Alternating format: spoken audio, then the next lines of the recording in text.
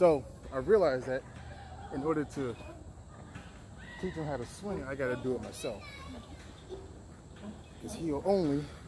All right. Put the legs out. There you go. Come on. Legs up. Legs up.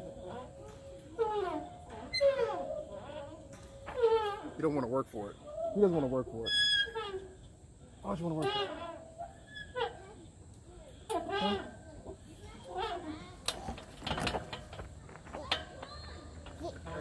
Romo.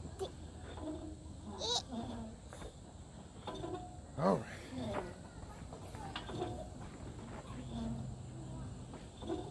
Yeah.